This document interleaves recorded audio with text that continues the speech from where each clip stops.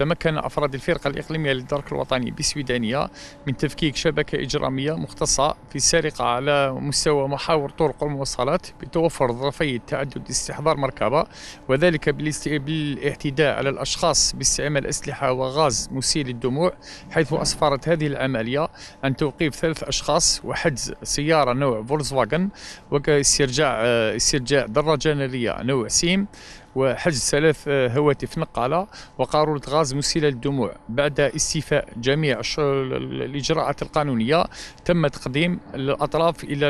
إلى أمام الجهات القضائية المختصة.